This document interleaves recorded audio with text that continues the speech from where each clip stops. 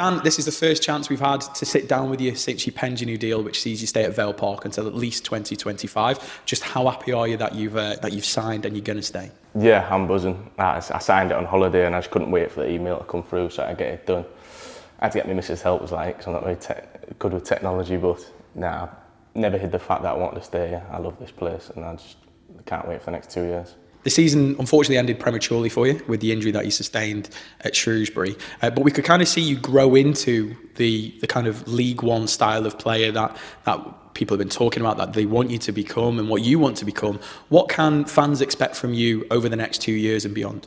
Yeah, like I say, I, I just loved playing football and was enjoying myself. Uh, I did feel like I grew into it, and uh, especially games around Christmas time and stuff like that. Um, basically, more or less, I've got myself fit this year. Like I say, I ended prematurely with that injury at Shrewsbury, which uh, wasn't great for me for the rest of the year. But like I say, I have to get myself fit, I'll build myself back up and go again, and hopefully even better than last time. Let's talk about you and that injury then, because we it's just one of those unfortunate injuries in football where you could never ever plan, you can never ever train to avoid it. It just happens. But how are you, and how is your recovery going? Yeah, like I say, as soon as I landed, I knew I'd, what I'd done. Um, it was one of them things I've landed on his foot and my ankle just turned outwards and there was no pain. So I knew exactly I'd done all the ligaments again and stuff like that. So it was frustrating time, but I've been working hard in the gym with the physio department here. Been uh, helped along by the lads, Gaz, Cassie and stuff like that in the gym with me. We pushed each other on and uh, I feel better than before now, so I'm just can't wait to get going again. And how important is that to have the players in there with you? Because I think it's always been spoken about that the team together, you're always pushing each other, whether you're on the field as the starting 11, whether you're on the bench or whether you haven't made the team. How important is that um, when you are going through your recovery?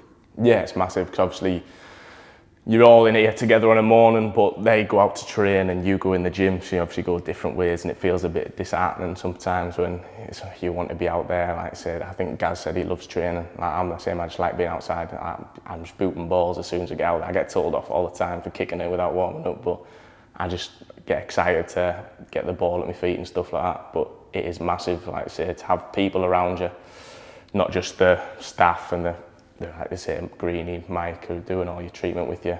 You the lads in there with you doing it all.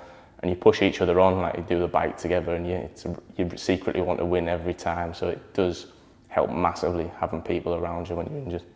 We go into the season with a new manager, somebody that's obviously uh, we all know he was, was the assistant manager last year. You got to work under him, but how how much are you looking forward to be working under Andy Crosby as the manager of Port Vale Football Club? Yeah, I'm really excited to see how it all goes. Like he was probably the main reason for me signing the two-year deal and staying here for another, like I say, the, another contract to my name here. Um, yeah, just love working under him. Like I say, his football knowledge and tactical aspect of the game is fantastic. He's and then again on the personal level, it's fantastic. It's, he adds another thing to his game there where he's always messaging, asking how you are, how you feel after something, how you feel about this. He involves you in everything, obviously within reason. Uh, but yeah, he's probably the biggest thing for me staying here. Is that key for a football player to have that relationship with the manager? Because you said there like it's not just football stuff that he will talk to you about. It's not entirely tactics and the next opponent. It's about you your family and, and, and just your day-to-day life as well. Yeah like I say when when it was all going on he was ringing us constantly like asking what my thoughts were about everything. Like we had individual meetings and he just wanted to know your side of it. It wasn't like this is what I want. If you want to know what you wanted like first and foremost like and, and it was all about your life as well. Like it's not just about football when you speak to him, which again is a main factor for me. Like feeling appreciated by someone and wanted by someone, in which I did in these phone calls that I had with him, was a major factor. And I just couldn't wait for him to sign the deal so I could get mine over the line and done. Looking ahead, then um, the season starts in almost two months. It feels like a, a lifetime away currently, uh, but we've got pre-season coming up as well. Just how much are you looking forward to to being back on the pitch and going around and booting footballs, providing you warm up, of course. yeah, like I say, I just, I just love being in here every day, like coming into this place and being with the lads constantly. It's always a laugh. Everyone, you always have fun, but then it is serious when we go out there.